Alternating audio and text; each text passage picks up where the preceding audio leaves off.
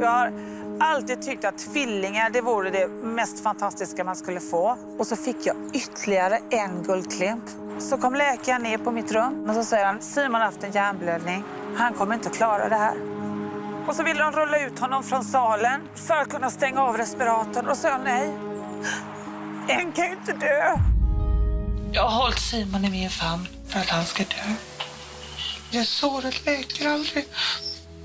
Varje gång vi åker ambulans akut så tänker jag, kommer jag hem ensam den här gången? Är det den här gången han dör?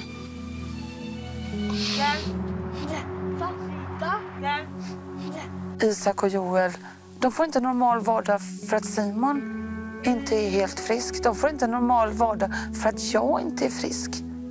Där inne i sovrummet. Där sover Simon, Isak och Joel idag. Det är någonstans 8-10 kvadrat bara. Hur sover ni? Vad har ni för rum idag? En trevåningssäng. Och. Trevåningssäng, ja. Har ni några skrivbord? Nej, inte plats. Vi har ingen ekonomi. Vi överlever knappt.